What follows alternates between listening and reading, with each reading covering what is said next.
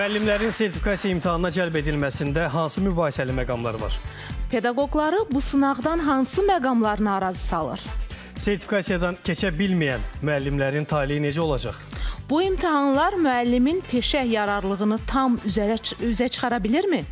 Yaxın oturun sabah saxlamadan bütün bu suallara birgə cavab axtaraq. Axşamınız xeyir.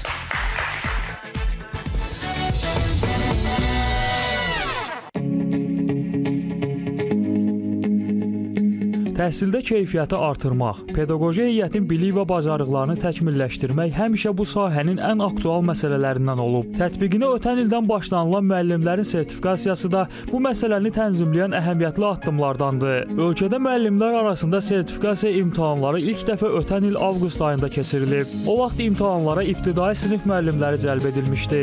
Növbəti sertifikasiya imtahanları isə 20-24 iyun tarixlərində keçiriləcək. Bu dəfə imtahanlarda ibtidai sinif, Azərbaycan dili və ədəbiyyat fənni üzrə çalışan 33 mindən çox müəllimin iştirakı gözlənilir.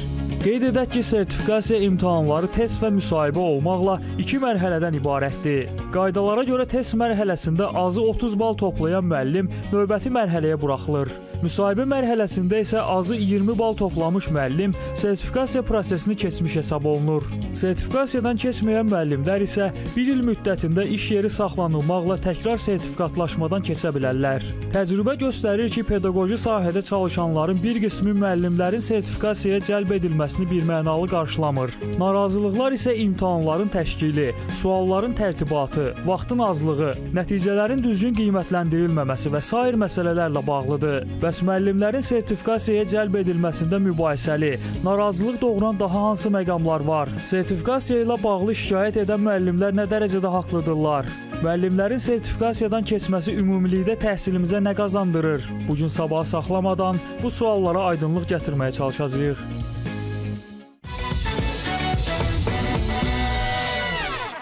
İrəlidən yay gəlir və hər kəs yay tətilinə hazırlaşır. Müəllimlər isə iyunun 20-24-də sertifikasiya imtahanına hazırlaşırlar və biz ötən ilin oktyabrında studiyamızda müəllimlərin sertifikasiya imtahanına bir dəfə danışmışdıq. Lakin ondan sonra keçən bu aylarda müəllimlərin narazılıqları və mübahisəli məqamların hələ də olduğunu, hətta bir neçəsinin artdığını müşahidə etdik. Elə müəllimlərin müraciəti əsasında biz bugün sabah saxlamadan yenidən müəllimlərin sertifikasiya imtahanından danışırıq və narazılıq nədəndir sualını vermişik. Əziz tamaşaçılar, mövzuya dair siz də fikirlərinizi, suallarınızı ekranda gördüyünüz əlaqə vasitələri ilə bizə yaza bilərsiniz. Biz isə müzakirəmizə başlayırıq. Müzakirəmizdə iştirak edirlər.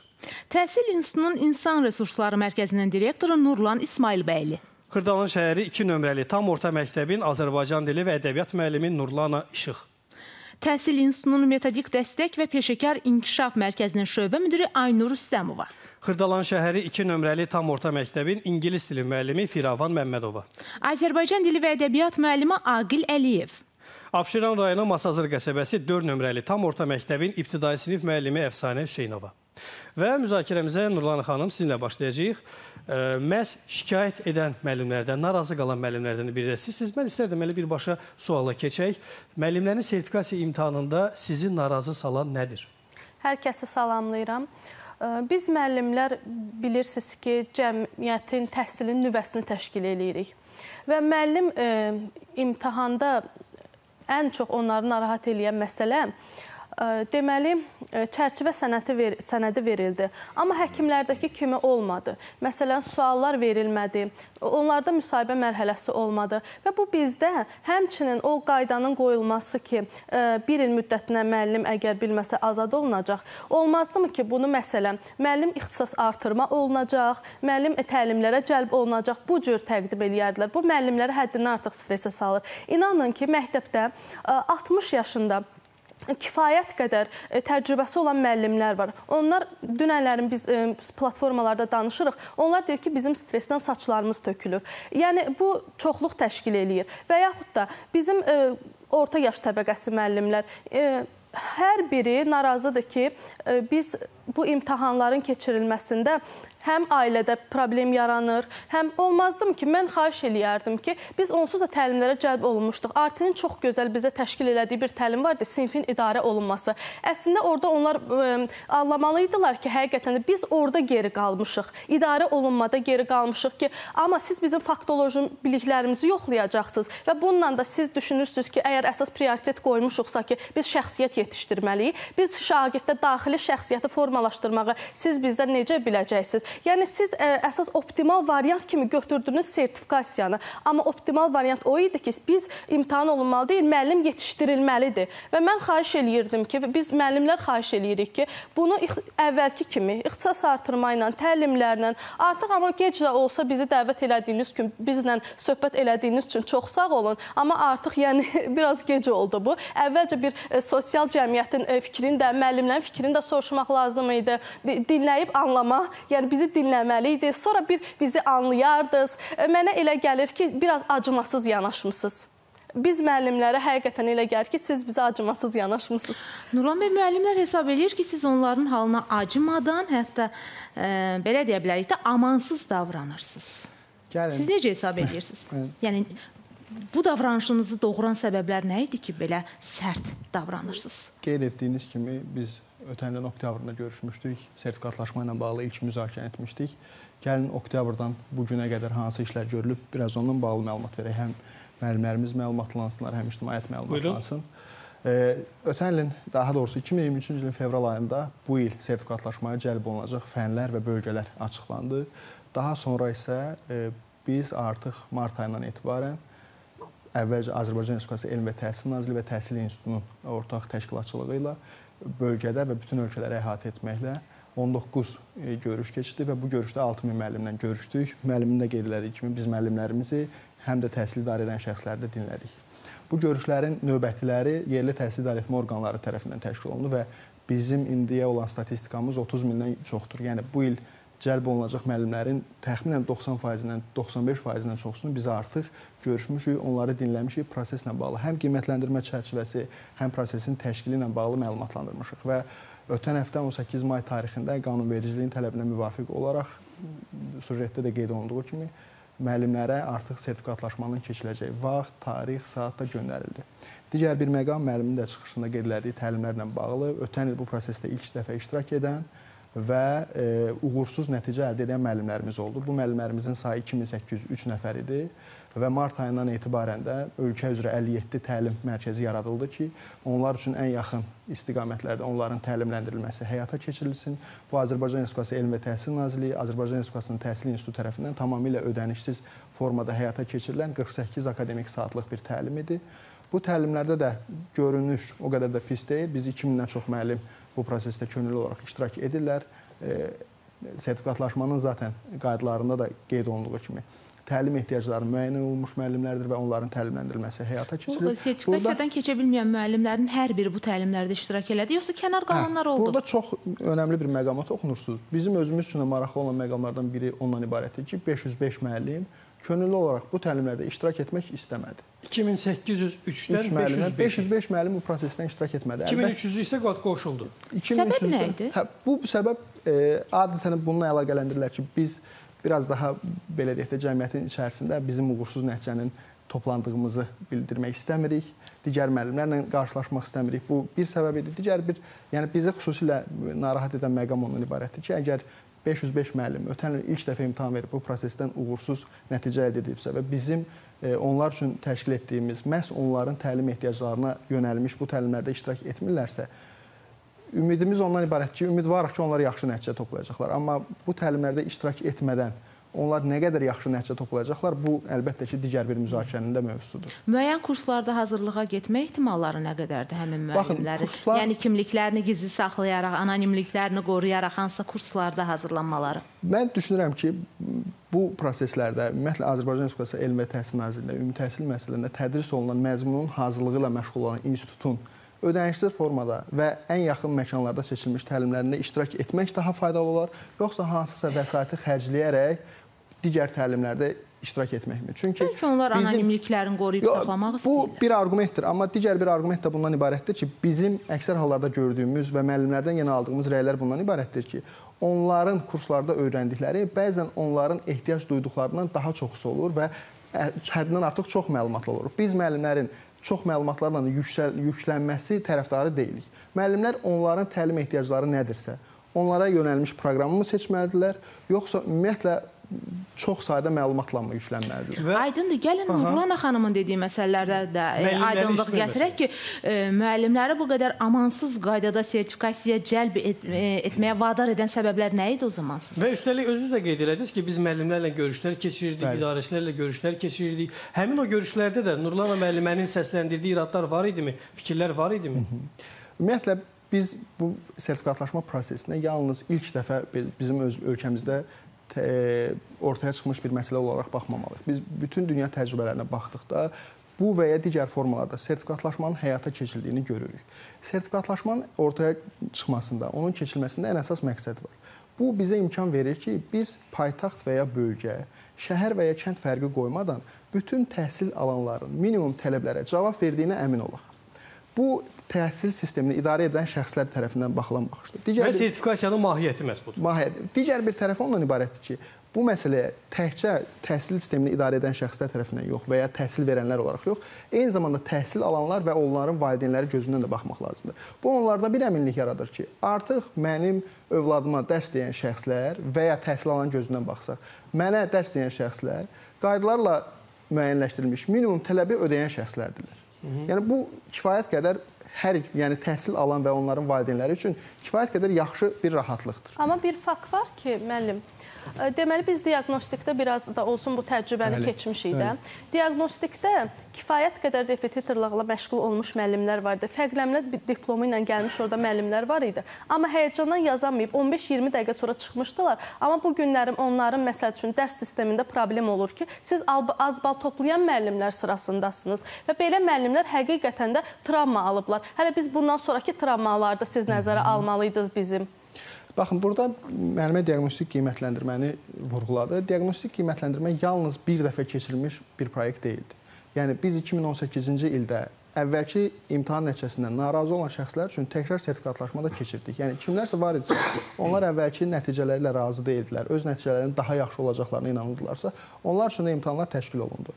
Bu işin bir tərəfi, digər bir tərəfi ondan ibarətdir ki, biz əgər təhsil verəndən danışırıqsa və müasir cəmiyyətdən danışırıqsa, müasir dövrün tələblərindən danışırıqsa, burada məlumatların mütəmadi olaraq yenilənməsinə və bu yeniliklərin mütəmadi olaraq yoxlanılmasına da ehtiyac var. Məhz bu ehtiyacdan tə- təhsil verənlərin sertifikatlaşması qaydalarına müvafiq olaraq təhsil verənlərin sertifikatlaşması hər 5 ildən bir keçiriləcək. Yəni bir müəllim və 3 dəfə bu prosesdən keçmiş müəllim artıq sertifikatlaşmadan keçmiş, uğur qazanmış müəllim olaraq nəzərdə tutulacaq və onun növbəti sertifikatlaşmaları da keçiriləcək. Yəni bir müəllim 15 il ərzində 3 dəfə bu prosesdən keçməlidir ki, o artıq e, belə deyək də öz bilik və bacarığını tam qaydalara müvafiq olaraq paradoks yaratmır biz əgər MIQ vasitəsilə müəllimləri işə qəbul ediriksə və bunları yenidən həmən sistemlə, həmən e, imtahan sualları ilə yenidən üzləşdirmək nə qədər məntiqə uyğundur? Çünki bu insanlar artıq o imtahanı vermiş və keçmiş şəxslərdir.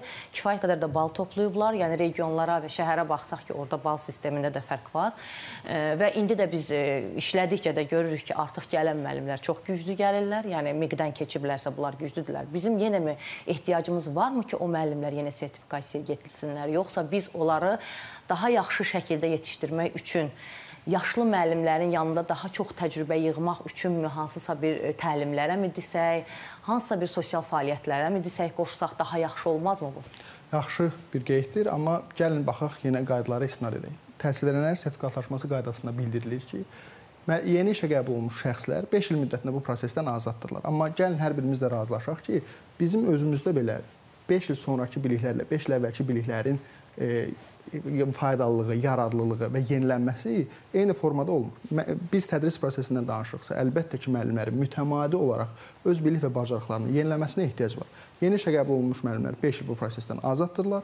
Növbəti 5 ildə isə 5 ilin tamamında isə onlar artıq bu proses Bu cəlb olunur. müddətin də gələcəkdə azaldılması planda tutulur. Hələ dəyişilməyib. Tam Onda dəyişiklik 5 ildən tamam. vəsaitlər də, kitablar da dəyişir. Dəyişilə bilər. Yəni bizim əsas Ya, müzakirəmizə elədirsə vəsaitlər də dəyişilməlidir. Əgər biz yeni biliklərə ə, cəlb olunacağıqsa, vəsaitlər də dəyişməlidir belə. söhbət 5 ildən bir. Mikrofona zəhmət olmasa. Təhsil məsələləri üzrə mütəxəssis Elvin Bədirov da müzakirələrimizə qoşulur. Onsuz da bilirsiniz ki, ümumi təhsil proqramı onu göstərir ki, hər 4 ildən bir siniflər üzrə proqramlarda və kitablarda bəlli bir dəyişilmə olur. Tenderlər keçirilir və tenderdə qalib gəlmiş nəşriyyatlar və müəlliflərin kitabları növbəti 4 il ərzində orta məktəblərdə təhsil proqramına uyğun olaraq tətbiq edilir. Və e, bizim 6 il əvvəl, 7 il əvvəl gördüyümüz istənilən tədris proqramı ə, məzmun xətti ilə eyni qalsa belə, kitabın içəriyi olaraq demək olar ki, standartları fərqlidir. Yəni mövzuların özündə ciddi fərqliliklər var, hadisələrdə fərqliliklər var, yəni uyğunlaşdırmalarda fərqliliklər var. Bilirsiniz ki, onsuz artıq yeni təhsil proqramımız bizim 9 illikdə bütün tədris proqramı yekunlaşır. 10-11-ci siniflər ümumiləşdirmə mərhələsinə keçib 7-8 il bundan əvvəl demək olar ki, həmin proses yox idi. Qayıdaq o zaman mövzumuza. Demək ki, dərsliklərdə dəyişikliklər olur, lakin bizim məhz bugünkü mövzumuz müəllimlərin sertifikasiya imtahanıdır və studiyamızda daha bir müəllim də var və biz istərdik ki, hazırda elə əfsanə müəllimədən də fikir alaq. Sertifikasiya imtahanı ilə bağlı sizdə hər hansı bir narazılıq varmı, yoxsa siz məhz imtahanın keçirilməsinin tərəfdarısınızmı? Sizin qeydlərinizə eşitdik. Mən də öncə tamaşaçıları salamlayıram. Müəllimin dediklərinə istinad etmək istəyirəm. Mən sertifikasiyadan keçmiş müəlliməm. Bir il öncə doğrudan da o həyəcanı mən də keçirirdim, yaşayırdım. Mənə də elə gəlirdi ki, nəsə bir çətinlik ola bilər. Amma artıq diaqnostikdən bu bizdə mən bir məsələni özüm üçün aydınlaşdırmaq istəyirəm. Çünki bu gün bir neçə müəllimlə söhbət eləmişəm bununla bağlı. Hamısı əvvəlcə bu həyəcandan danışır və hamısı deyir ki, mənim biliyimə heç bir şübhəm yoxdur. Bütün sualların o cavabını bilirəm, ancaq həyəcanlanıram. Amma biz sizə övladlarımızı tərbiyə e, tapşırırıq ki, siz onları həm öyrədəsiz, həm o öyrəndiklərini necə tətbiq etmənin yollarının təməlini indidən atasınız. Bəs necə olur ki, özünüz imtahan öncəsi bu Çünki qədər öncə belə bir şayələr gəzirdi ki, ibtidai sinif müəllimləri çox yüksək bir e, biliklə qiymətləndiriləcəklər. Yəni öz təhsil səviyyələrindən daha üstün biliklə. Həyəcan ondan ibarət idi. Təbii ki, hər bir müəllim öz dərs dediyi e, siniflərdə öz fənnini bilməlidir. Ona biz həyəcan keçirirdik ki, xüsusən də orta yaşlı nəsil var idi ki, düşünürdü ki, mən neçə il bundan qabaq məktəbi bitirmişəm, ola bilər ki, mən e, yuxarı siniflər 9, 10, 11-ci sinif e, səviyyəsində biliklərim olmaya bilər, amma sertifikasiya imtahanı tam səmimiyyətimlə deyirəm ki, tamamilə bu şeyi aradan qaldırdı və mən hər dəfə, hər yerdə bax çıxışımda, müəllimlərlə görüşümdə deyirəm ki, tam bizim öz ibtidai təhsil səviyyəsində biz nəyi öyrədiriksə, bəlkə də biz daha çox ondan da artığını biz yüksək səviyyəli uşaqlarla işləyirik. Bəzən bu dəqiqə tələbat, təhsil alanın tələbatı dəyişib dediyim kimi, ona görə dərsliklərdə də yenilənmələr olur. O dərsli təs, təhsil alanın tələbatı dəyişirsə, necə ola bilər ki, təhsil verən yerində saysın? Odur ki, biz elə bir uşaqlarla işləyirik ki, Onlar artıq beynəlxalq ə, olimpiadalarda iştirak edir, ken- kenguru yarışlarında ikinci siniflər medallar qazanır. Bəs o inkişaf edirsə, mən onun qarşısında necə özümə inanmadan, onu biliyimi dərinləşdirmədən otura bilərəm? Və ona qayıdıram həmin fikrə ki, yəni bizə təhsil səviyyəsində, ibtidai təhsil səviyyəsində proqram nəyi tələb edirdisə, məhz bizdən onu soruşdular. Ondan sonra mən o həkimlərə niyə verdilər suallar, belə bir cavablarını artıq bildim ki, doğrudan da o bir müəllimə lazım deyil. Həkimlərə mən qarışa bilmərəm. Doğrudan da mən fənnimi deyirəmsə və 30 nəfər şagirdin qarşısındayamsa, mən alnı açıq üzü ağ o şagirdlərə nə isə öyrətməyə borcluyam və onun tələbatını mən ödəməyə borcluyam. Bilirik ki, əsas strateji hədəflərdən də biri yüksək keyfiyyətləri, yüksək keyfiyyətli, innovativ təlim metodlarını tətbiq etməyə bacaran bir təhsil verən formalaşdırmaqdır. İkinci bir tərəfi, e, illərdir məsələn mən bir əfsanə müəllim kimi, məni bir yaxşı müəllim kimi tanıyırdılar deyirdilər. Bəs bu bir rəsmi nəyinisə tapmalı idimi? Üstəlik də mənim əgər əməyim, mənim fəaliyyətim stimullaşdırılacaqsa, gözə görünən dərəcədə mən əmək haqqımda artım olacaqsa, bunun nəyi pis olsun? Valla tam səmimi deyirəm, hal-hazırda yanımda sertifikasiya hazırlaşan müəllimlər o qədər toy bayram kimi həvəslə hazırlaşırlar. Hətta bir neçəsi var idi ki, sevinə-sevinə dedi ki, müəllim axır ki, məni də qeydiyyata götürdülər. Kaş ki bizdə bəli oldu ki, biraz problemlər oldu bəzi müəllimlərlə bağlı. Onlar o qədər sevincə məlumat verir, mənə zəng elədilər ki, Əfsanə müəllim, biz də qeydiyyata düşdük. Riyaziyyat müəllimləri qeydiyyatdan keçə İbtidai bilər sinif artıq? müəllimlərindən. İbtidai sinif Hə, müəllimləri baxın, arasında. gəlin ümumiyyətlə müəllimənin çıxışı. Ona aydınlıq gətirək, sonra danışmaya digər qonaqlarımıza Analıq keçəcəyik. məzuniyyətindən gələn bəzi müəllimlərdə müddətlə bağlı biraz e, e, ötən olurdu. il prosesə cəlb olunmuş bizim 4 bölgə var idi. Abşeron xızı, Quba Xaçmaz, Gəncə Daşkəsən və Bakı Şəhər Təhsil İdarəsi tabeliyində olan müəllimlərimiz. Bu müəllimlərin ilkin qeydiyyatı aparılmışdı, lakin burada bilirsiniz, stajla bağlı tələb var, analıq məzuniyyətlə bağlı müəyyən qeydlər var ki, biz onları gözləməliyik. Onların ötən ildən yaradılmış şəxs səhifələrinin yenidən bərpası ilə bağlı işlər görülməlidir. Amma bütün bu işlər bitib, doğrudur, müəyyən müraciətlər var. E, fənlə bağlı, bölmə ilə bağlı müəyyən qeydlər olur. Yenə də məlumatların daxil edilməsində çətinliklərimiz olur, amma biz bütün resurslarla müəllimlərimizin yanındayıq. Son ana qədər də olacağıq. Hansı qeydlər varsa, onları narahat edən məqamlar olsa, biz onu açıqlayırıq. Yenə müəllimin qeydinə istinadən deyirəm, yaxşı bir xəbərimiz də var. Mən bilirəm ki, kifayət qədər bizi izləyən müəllimlər də var və ya onların yaxınları var. Bunu da qeyd edək ki, sabah bu il sertifikasiyaya cəlb olunacaq müəllimlərimiz üçün sınaq imtahanı da olacaq onlayn formada. Müəllimənin qeydlərinin bariz nümunəsini onlar bu sınaqda görəcəklər. Yəni Və gün boyu onlar üçün keçərli olacaq. Bəli, bu qeyd. onlayn belə deyək, onlayn olduğu üçün bizim imkanlarımız çoxdur, lakin bir qeydi unutmamaq lazımdır ki, sistemə bir dəfə daxil oldunuzsa, artıq növbəti dəfə daxil ola bilməyəcəksiniz. 120 dəqiqəlik vaxt geriyə saymağı Hər başlayacaq. müəllim yalnız bir dəfə sınaq imtahanına Sınaq- keçə biləcək. Sabah səhər saat 10-dan Ondan etibarən. etibarən bəli, müəllimlərimiz qoşula bilərlər. öz Axşam bilik- saat 8-ə qədərdir. e, ak- aktiv olacaq və biz günün sonunda və ya ola bilsin növbəti gün artıq bu sualları da açıqlayacağıq ki, müəllimlərin suallarında hansısa çətinliklər varsa, o cavabları da tapa bilsinlər bizim açıqlamamızda. Aqil müəllim, həmkarlarınız arasında fikir müxtəlifliyi var. E, artıq sertifikasiya mərhələsini arxada qoyan müəllimlər deyir ki, nə yaxşı ki oldu, bitdi, keçdi və mən onun faydasını görürəm. E, ancaq hələ sertifikasiya mərhələsinin öndə olan müəllimlər isə başqa fikirlər səsləndirir. Bilirsiniz, bu deyir bu kino ki var. Bu imtahan elə bir şeydir ki, yəni bu nə qədər peşəkar olursan ol, nə qədər işini mükəmməl bilirsən, bil, bu istənilən halda həyəcan yaradan bir elementdir. Yəni bunu heç kim dana bilməz. Mən ə, mən məsələn təvəzzökarlardan uzaq olmasın. Belə bizim evdə hətta məndən beziblər ki, mən hər il müxtəlif imtahanlara gedirəm. Lazım oldu olmadı. Gedirəm, amma yenə belə bir imtahana gedəndə müəyyən qədər həyəcan hiss edirəm. Müəllimə sentimental yanaşdı. Mən razıyam ondan. Ki, bəli, bunu stresə çevirən olur, bundan nə bilim psixoloji gərginlik yaşayan olur. Bu normaldır əslində. Bəlkə biz gedib araşdırsaq istənilən təhsil Məsələn, dünyanın istənilən təhsil o, ocaqlarında biz o problemi görəcəyik. Gərək Harvardda, məsələn Harvard deyirik də, gedək Harvard Universitetinə, orada da tələbə imtahan qabağına həyəcan keçirir. Düzdürmü? Yəni bu bu heç bu onu qoyaq bir qırağa. Nə edirsə eləyək. Bunun qarşısı alınamaz. Tələbə ilə müəllimi niyə müqayisə edirik? Yox, gəlirəm ikinci məsələyə. Müəllimi həyəcanlandıran digər bir problem nədir? Məsələn, Azərbaycanda bu imtahanla məşğul olan iki qurum var. Din və Təhsil, tə, Elm və Təhsil Nazirliyi.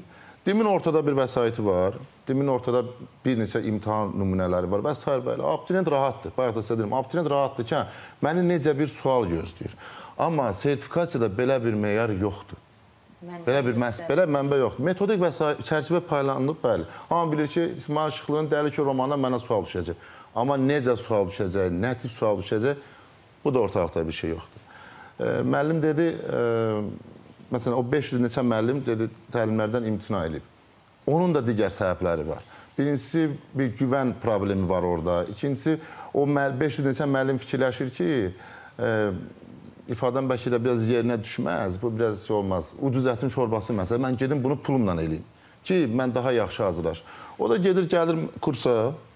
Kursda da müəllimin əlində ona dəstəkləyəcək müəllimin əlində heç bir vəsait yoxdur. Yəni o da başlayır ona deyirsiniz ki, təhsil institutunun keçdiyi təlimlər ödənişsiz olduğu üçün keyfiyyətsizdir. Mən bu mənim yanaşmam deyil. Yenə deyirəm, sadəcə olaraq mən eşitdiyim şeylərdən danışıram da belə deyək. Mən təhsil institutunun əməyini yüksək qiymətləndirirəm. Bu danılmazdır. Yenə də deyirəm. Ortada yəni insan əməyi var, kifayət qədər, o qədər təlimlər var. Mən bunu şahidiyəm. Bu danılmaz Və faktdır. bir əlavəni dedim, yəni sizin nümunələrinizdən belə çıxır ki, sizə deyilənlərdən belə çıxır Bəli, ki, bəli, bəli. ə, təhsil institutunun təşkil etdiyi təlimlərə bir şübhə var, Aha. lakin mənbəyi bəlli olmayan kurslardakı olan hazırlıqlara inam var. Niyə? Bu niyə yaranır? Məsələn, bu niyə yaranır? Bu deyir ki, mən qoşuldum təlimə, bir saatdan sonra təlim bitdi. Amma bu getdiyi kursda vəziyyət belə deyil. O təlim e, kursda təlim müddəti uzun ola bilər. İstənilən vaxt o müəllimə sualını yaza bilər, e, müəllimə ka- suallarını göndərə bilər, müəllim ona ətraflı izah edə bilər, başa düşməni bir neçə dəfə soruşa bilər. Yəni o kurslarda bu şərait var deyə müəllim də ora daha çox qaçmağa meyllidir. Hətta ona pul verməyə e, belə edib onun nəticələnsə, bəli, ödəniş etməyə nəticələnsə belə. E, bu bir, ən böyük problemin qaynaqlama səbəbi ortada bir e, belə deyək də test mod- modeli mi deyim, nümunəsi mi deyim, yoxdur ortalıqda. Problem buradan yaranır. Digər məsələ müəllimənin də fikrinə münasibət bildirmək istəyirəm. Digər məsələyə gələcəyik, çünki məhz bu fikrinizlə bağlı əlavəsi var idi Nurlan Əlbəttə. müəllimin. Gəlin onu dərhal o cavabı alaq və davam Ha, buyurun, buyurun. Bizim qeyd etdiyim kimi 57 təlim mərkəzimiz fəaliyyət göstərir. Gəlin bir müqayisə edək. Bir belə deyək də qazanc məqsədi güdən bir təlim ocağımı, bir təlimçimi ötən il sertifikatlaşmadan keçmiş, yüksək nəticə göstərmiş, üstəlik onun bacarıqları təlimçi kimi təkrar yoxlanılmış şəxslərin təlimidir. Biz kimə daha çox güvənə bilərik və ya güvənməliyik? Sizə belə deyək də, yenə deyirəm, bir qazanc mənbəyi olaraq baxan təlimçimi, yoxsa ötən il bu prosesdən keçmiş və öz təcrübələrini sizlə bölüşməyə hazır olan bir sizin yoldaşınızmı, iş yoldaşınızmı? Hansı daha? Yox, müəllim, bu mənim fikrim deyil də. Yəni Yəni biz də Belə sizin bu yanaşma ilə xahiş edirəm, müraciət qəribliyə salmayın. O kurslara gedənlərə də yenə deyirəm, bu təcrübədən keçmiş şəxsmi sizə daha çox fayda verəcək? Sizin həmkarınızmı sizə daha çox fayda verəcək, yoxsa təlimçimi? Yox, müəllim, siz haqlısınız, amma bunu e, dediyiniz kimi e, 2300 nəfərə izah edə bilmişik, amma ortada 500 neçə nəfərlik bir 500 Bəli, kifayət- 500 hə, aparılıbmı ki, əlbəttə onlar niyə aparılıb. qoşulmayıblar? Əlbəttə aparılır. məsələn Nə deyilib araşdırma Nə nəticəsində? Burada əsas məsələ, əsas qeyd e, biraz daha çəkinməklə bağlı məsələlər olur ki, mən istəmirəm ki, mənim bu prosesdə uğursuz olmağım digər həmkarlarım tərəfindən də bilinsin. E, Mən ona görə təlimə getməsəm. Gəlin belə bir e, üzləşirik biz belə hallarla. Yəni mən çox üzləşirəm. Yəni bunu nəzərə alaq ki, biz artıq e, 2023-cü ildə artıq 3 ildir biz necə bir cəmiyyətik və nə ilə uğraşırıq. Bizim şəhid evladlarımız var, bizim şəhid analarımız var və bizim şəhid yoldaşlarımız var. Halbuki onlar sertifikasiyaya çox cəlb olunublar. Yəni onlar da narazıdır. Yəni onlar da necə narazıdır? Yəni ki biz əslində mən şəxsən onlarla söhbətdə belə çəkinə-çəkinə, hə siz də imtahana mı gedirsiniz deyirəm. Çünki hər halda onlara qarşı daha həssas yanaşıla bilər və biz sabah onların işlərinə xitam verilsə belə biz onları hansı cəsarətlə və cürətlə onlara deyə bilərik? Və qazi ailələri var, Qazi, qazi, yoldaşları, var. Hər gün Çoxdur onların qulluğunda dururlar. Bu adamlar təkrarlamağa vaxt tapmırlar. Baxın, kompüter yaddaşı və insan yaddaşı. Kompüterə 5-ci sinifdən 11-ci sinifə qədər olan proqramı yükləyirsən, qalır yadında. Amma mən 5-ci, 6-cı sinifə dərs deyirəmsə və bu proqramı hələ mükəmməl öyrən öyrənirəm. Çünki biz hər gün dərsə girəndə bir gün qabaqçıdan kitabı vərəqləməliyik. Hər dəfə yadımıza nəsə düşür bizim.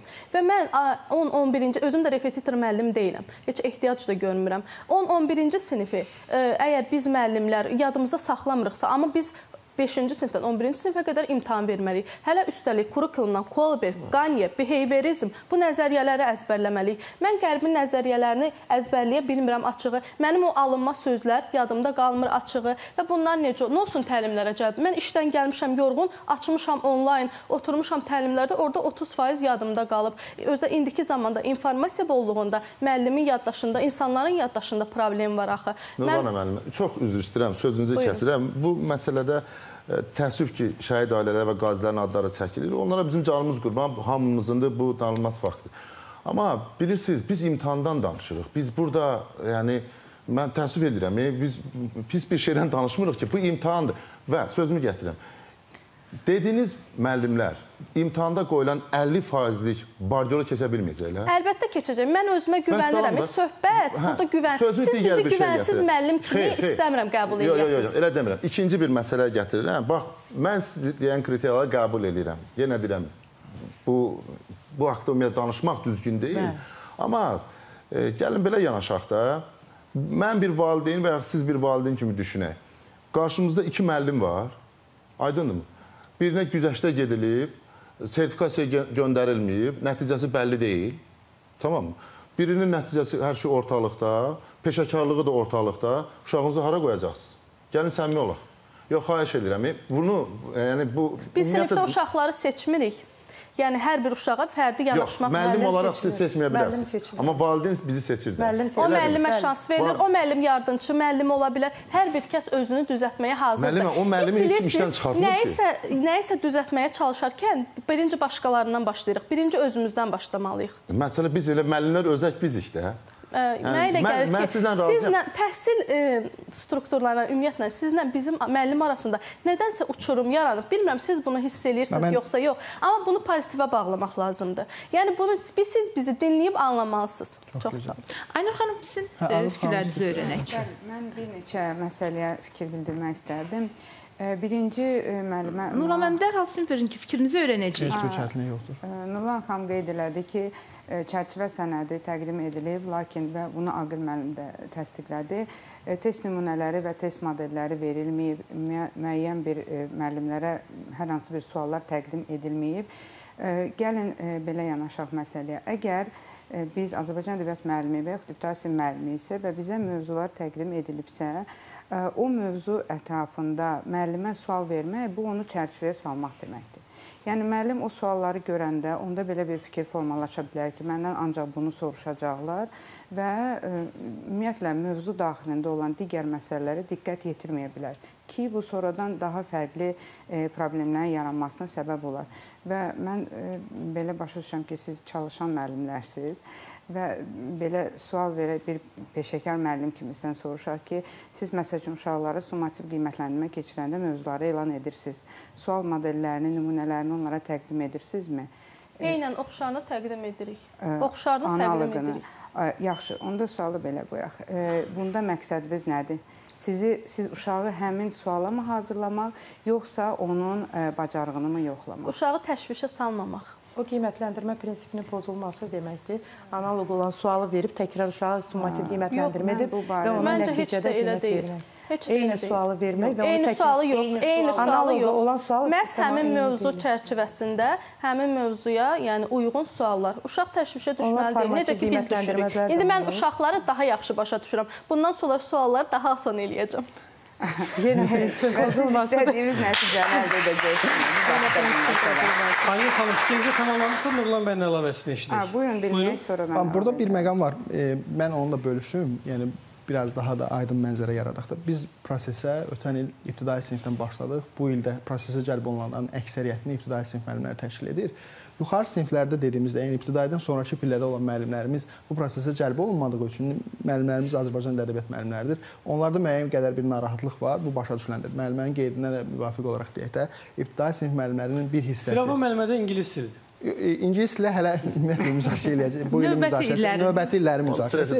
Burada məsələ ondan ibarətdir ki, baxın, e, ibtidai sinif müəllimləri ötən bir prosesi yaşayıblar və onlar ən azından belə deyək də, ya orta ixtisas təhsil müəssisəsində, ya ali təhsil müəssisəsində eyni kurslarda, biraz aşağı-yuxarı kurslarda təhsil alıblar deyənə bir-birlərinə ünsiyyətləri çoxdur, bir-birlərinə ünsiyyəti qruplar. Müəllimə narahat olacaq heç nə yoxdur. Mən ötən il gəldim, keçdim. Üstəlik də mənim əmək haqqım imtahan nəticəmə müvafiq olaraq artdı. Narahat olma. Yuxarı siniflərdə bu proses olmayıb deyənə müəyyən qədər başa düşüləndir bu məsələ. Amma müəllimənin bir qeydi oldu ki, mən 5-ci, 6-cı siniflərdə dərs deyirəm. Bu 2022-23 tədris ilinə görə belədir. Kim sizə qarantiya verir ki, siz 24-25 tədris ilində 7, 8, 9-cu siniflərdə dərs deməyəcəksiniz. Axı bizim belə bir yanaşmamız yoxdur. Hər halda ki, məktəb rəhbərliyi də sizi yalnız 5-ci, 6-cı siniflərdə dərs deyən müəllim olaraq da yanaşmır. Amma sizin ixtisasınız Azərbaycan dil ədəbiyyat müəllimidir. Biz də sizə Azərbaycan dil ədəbiyyat müəllimi olaraq yanaşırıq da. Siz 5-dən 11-ə qədər hər bir sinifdə dərs deməyə hazır olmalısınız. Eyni zamanda bu bizim yuxarı siniflərdə tədris aparan bütün müəllimlərə çağırışımız olsun ki, onlar müəllim mən ancaq 5-6-lara dərs deyirəm, yuxarı siniflər bəlkə mənə lazım deyil. Buna belə yanaşmayaq. Bu prosesə yalnız bu dəfə Yox, yox, bu düzgün mənə bizə Mən bir dənə, görə mən üzr istəyirəm, mən bir dənə bitireyim. Yox, ola bilər. Yəni bu Çox aspektdən belə görs- görsənə bilər, amma burada məsələ belədir də. Yəni sertifikatlaşmanı da yalnız bir dəfə olan proses olaraq da yanaşmamalıyıq. Biz sertifikatlaşma nəticəsində növbəti 5 il ərzində tədris prosesinə cəlb olunacaq müəllimə bu hüququ verir sertifikatlaşma nəticəsinə müvafiq olaraq. Yəni ona görə də bu, yəni bir dəfə mən imtahanı verdim, keçdim, buna belə yanaşmayaq. Yəni növbəti 5 ilə ən azından hazır olaq ki, biz növbəti 5 ildə tədris etmək üçün bizə Elm və Təhsil Nazirliyi tərəfindən bu müvafiq sənəd verilir. Nurlan bəy, Aynur xanım bir sualım da var. Siz orada 8 mətn salmısınız. Bu bizim üçün deyəsən yenilikdir. 8 mətn və hər mətnə bir sual. Və mə- əgər bunlar məntiqi cavab tələb edirsə, vaxt az deyilmi? Müəllimlər yarım saat artıq vaxt istəyirlər platformalarda.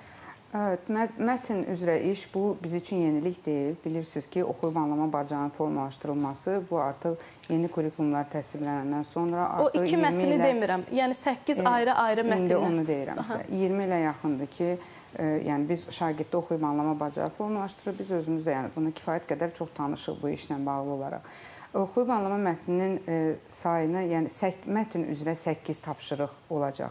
Bu ola bilər ki, bir mətn üzrə məsələn 2-3 tapşırıq olsun, eyni mətn üzrə verilsin və yaxud da ki, bir mətn üzrə bir tapşırıq olsa belə, bu e, kiçik bir abzas, məsələn, hardasa bir 6-7 cümlədən ibarət olan bir abzasdır və ona uyğun e, tapşırıq veriləcək. Yəni məsələ burada e, əlbəttə ki, müəllimlərin o tapşırığı yerinə yetirmək üçün vaxtdan vaxtı, buna nə qədər vaxt sərf olunacaq, 120 dəqiqəyə çatacaqmı, çatmayacaqmı, bunlar hamısı nəzərə alınır.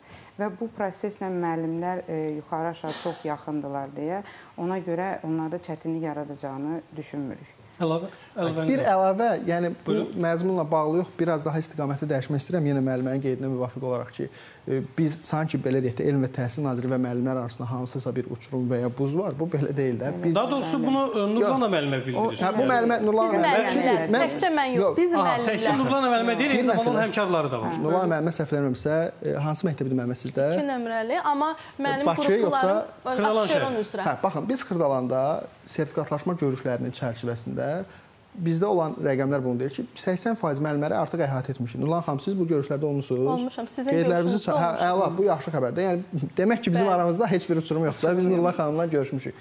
Digər bir məsələ ondan ibarət ki, istər sosial media kanalları olaraq, istər çağrı xidməti olaraq, istər vətəndaşların qəbulu olaraq biz nəinki müəllimlərimizin, yəni bu prosesdə olan hər kəsin qəbul etməyə, onları dinləməyə hazırıq.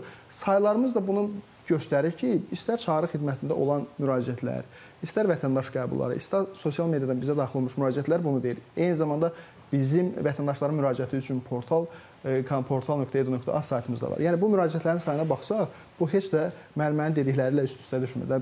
Heç bir uçurum yoxdur. Hər zaman dinləməyə də hazırıq. Elvin bəy, e, mən istərdim bu yerdə sizə üz tutaq və xatırlayırsınızsa oktyabrdakı müzakirələrimizdə siz də iştirak etmişdiniz və oradakı müzakirələrdən bir neçə ay keçib narazılıqlar hələ, hələ də var. Mən istərdim bu suala bir sizə də ünvanlayaq. Müəllimləri narazı salan səbəb nədir? Əslində mən deyim sizə öz fikirlərimi.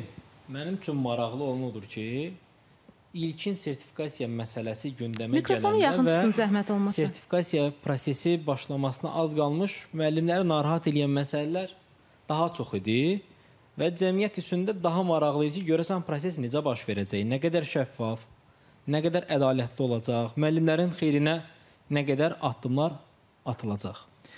Ə, təbii ki, o məqamda həyəcanı da başa düşülən idi. Biz özümüz üçün də çox qeyri-müəyyənliklər var idi. Düşünürəm ki, prosesin özü, prosesi keçirən ə, o zamanki Təhsil Nazirliyi, indiki Elm və Təhsil Nazirliyi üçün də müəyyən qədər qeyri-müəyyən idi. Çünki əldə heç bir data yoxdur. Yeganə məlumat bir neçə il öncə keçirilmiş diaqnostik qiymətləndirmədir və diaqnostik qiymətləndirmənin özü belə o zaman ciddi həyəcan və böyük təbillərlə qarşılanmışdı. Biz bu proseslərin hamısını izləmişik. Amma nəticə nə oldu? Nəticə oldu ki, həqiq- həqiqətən də sertifikasiya prosesi ibtidai siniflərdə başlayanda göründü ki, çox loyal bir münasibət var bu prosesə. Yəni prosesi həyata keçirən qurum tərəfindən. Və e, müəllimlər üçün də heç kimi işdən çıxartmaq məsələsi gündəmə gəlmədi. Ən böyük ajitaj yaradan səbəblərdən biri o idi və öz üzərində işləmək üçün biri zaman təqdim edildi müəllimlərə və ümumi test suallarının da 2 səviyyəsi yüksək çətinlikdə deyildi və 50% keçmək kimi bir hədəf qoyulmuşdu. Mən əslində anlayıram o ə, namizədləri ki, onlar müəllimlərin işə qəbul imtahanına hazırlıqlara gedir bu və ya digər kurslara və ya da müəllimlərin yanına. Çünki onlar kimlərləsə mübarizə aparırlar. Məsələn, 5 dənə vakansiya var müəyyən fənn üzrə və 5 vakansiyanı əldə etmək üçün təxminən 2000 nəfər yarışır Və e, ö- adı müsabiqədir və zaten. bir-biri ilə yarışır. Müəllimlərin Amma sertifikasiya prosesində hər kəs özü ilə yarışır. Yəni, əgər mən təqdim edilən testin 50%-ni keçərəmsə, 10% qiymətləndirmə ümumi maaşlı artımla bərabər mən iş yerimi 5 il ərzində itirmə təhlükəsi aradan qalxmış olacaq. Yox əgər mən ümumi 50 balı toplamış olaramsa, bu səfər maaşımda çox ciddi artım olacaq və yenə də mən 5 il öz işimi sığortalamış olacağam. Əgər bütün sertifikasiya prosesinə qatılmış hər bir müəllim 50% keçmiş olacaqsa, o zaman o deməkdir ki, bu proses 100% tam müvəffəqiyyətlə yekunlaşıb hər kəs üçün. Yəni heç kim işdən azad edilməyəcək yaxın 5 il ərzində. Əgər mən özüm özümlə mübarizə aparıramsa, öz nəticəm üzərində işləyirəmsə, mən nə üçün narahat olmalıyam? Biz məktəblərdə e, bizim 1,6 milyon şagirdimiz təhsil alır. Təhsil heç bir halda güzəşti qəbul eləmir. Heç kimə güzəşti qəbul eləmir. Çünki hər bir dövlətin işıqlı gələcəyi birbaşa onun təhsilindən asılıdır. Əgər bizim məktəblərimizdə təhsil verənlər, təhsil alanların dövlət tərəfindən qarşıya qoyulmuş bütün tələblər və tələbatların hamısını qarşılamaq imkanı deyilsə, o zaman burada bir islahata getmək lazımdır. Sadəcə sevindirici məqam həm də mənim üçün nədir? İslahat prosesinə son zamanlarda Elm və Təhsil Nazirliyi özü də daha loyal münasibət göstərir. Özünün çatışmazlıqları, məsələn, müşahidə edir ki, bəli, bunu yanlış eləmişik. Deyək ki, biz sertifikasiya prosesində kurikulum əmsalı fənn əmsalından eyni idi. Amma bundan öncəki dəyişiklikdə o əmsallar dəyişdi. Kurikulum əmsalı birə, ixtisas fənni isə iki əmsala dəyişdi. Bu hamı üçün qəbul edilən bir şeydir. Sonra qaydaq digər məsələyə, əslində şəhid və qazi mövzuları bizim hamımızın həssas yeridir. Düşünürəm ki, onlar onsuz da kifayət qədər nəzərə alınır əmsala vurulmada. Əgər eyni qədər sualı cavablandırıblarsa, əmsala vurulmada rəqiblərindən daha ön plana keçmiş olurlar. Bəli, qəbul imtahanlarında. Yəni bu öz yerində. Elvin müəllim, üzr istəyirəm. Əgər biz e, bayaq istəyirəm deyim, məsəl sözüm yarıda qaldı. Əgər biz şəhid deyirsiniz, şəhid ailələri nəzərə alırıqsa, uşaqlar da şəhid ailələrdən olur da, yəni.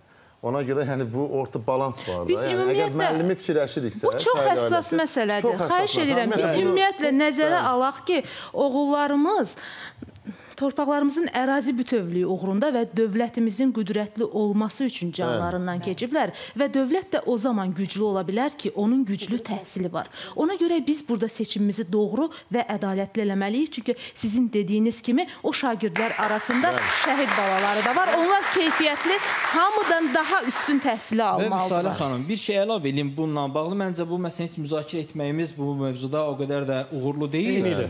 Ee, o qəbildən olan bizim müəllimlərimizin faiz olaraq sayda ümumi müəllimlərin o qədər kiçikdir ki, onun mövzu olaraq daha qabarıq səviyyəyə gətirib çatdırmaq düşünürəm ki, məqsədə uyğun deyil. Yəni Biz cəmiyyət olaraq da bizim buna səsi- çox üzr istəyirəm. Mən bir fikrimi yekunlaşdırım. müəllim, mən icazə versəniz, elə sizin sözünüzdə qüvvət bir məsələni vurğulayım. Biz e, qısa müddət öncə yerdəyişmə müsabiqəsinin nəticələrini elan elədik. 1525 müəllim iş yerini dəyişmə hüququnu əldə edib.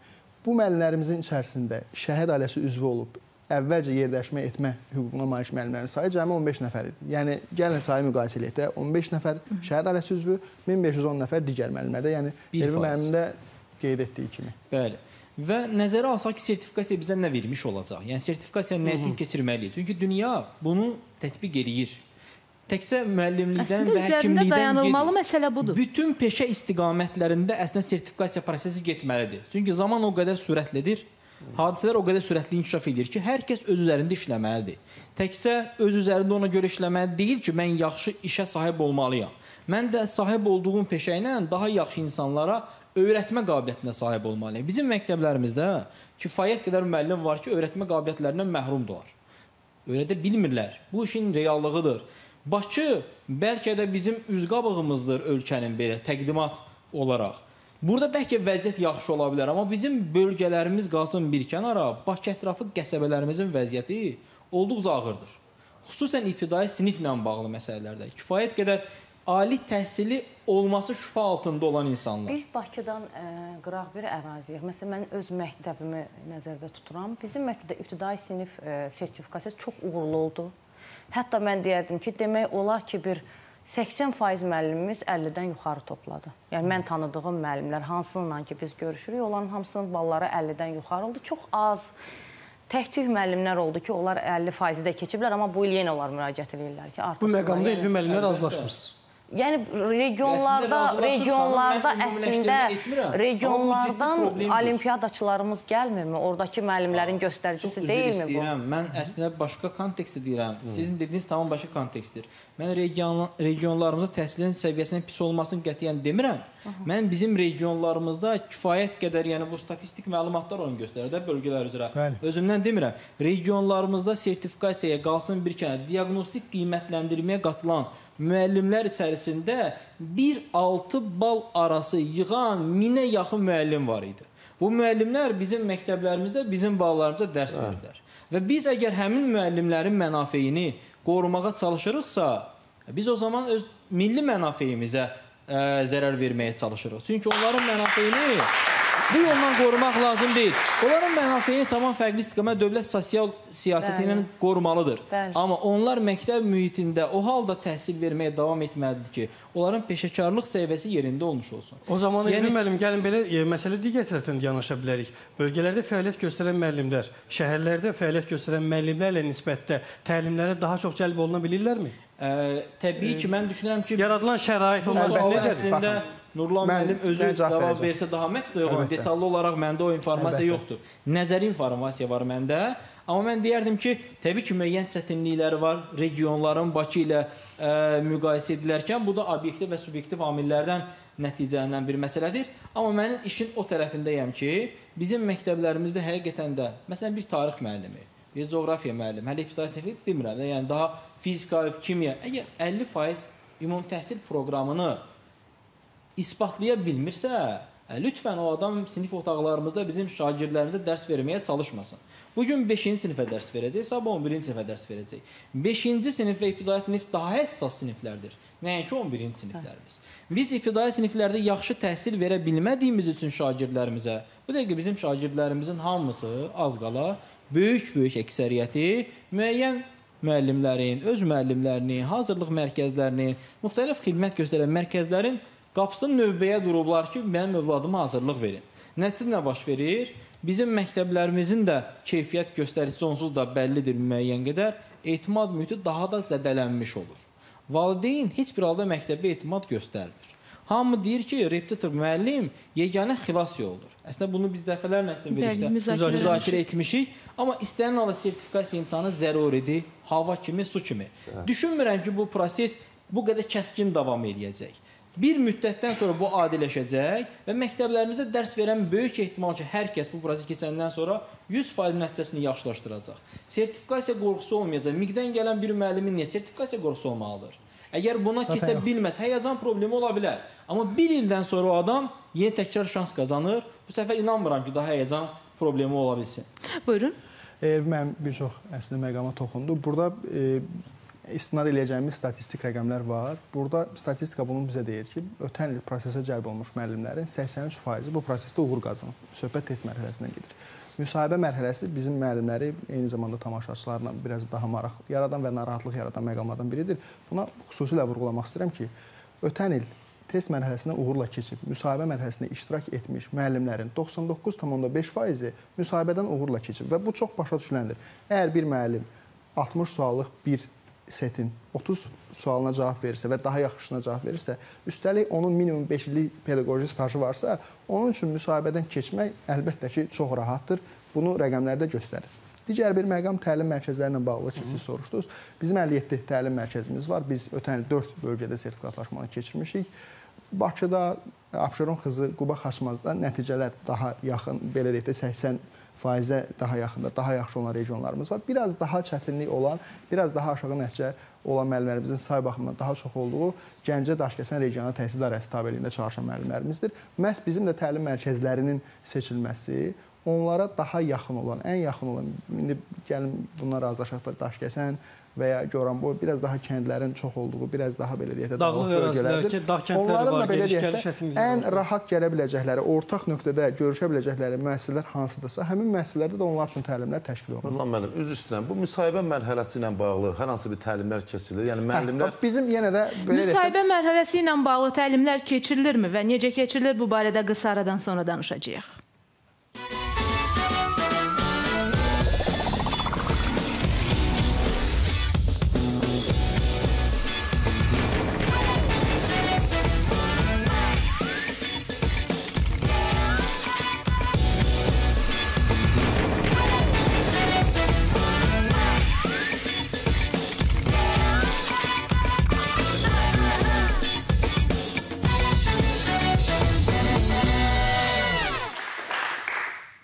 Sabaha saxlamadan müəllimlərin sertifikasiyasından danışırıq. Narazılıq nədəndir sualına cavab axtarırıq və bu yerdə sıra bizim tamaşaçılarımızın yazdığı suallarıdır. Tamaşaçımız yazır ki, Nurlan müəllim qeyd elədi ki, müəllim nəinki 5-ci, 6-cı siniflərə dərs deməyə hazır olmalıdır. 9 illik ümumi təhsil müəssisələrində çalışan müəllim 10 və 11-ci siniflərdəki mövzulardan xəbərsizdirsə, necə sertifikasiyada iştirak eləyəcək? Bu proses necə tənzimlənəcək?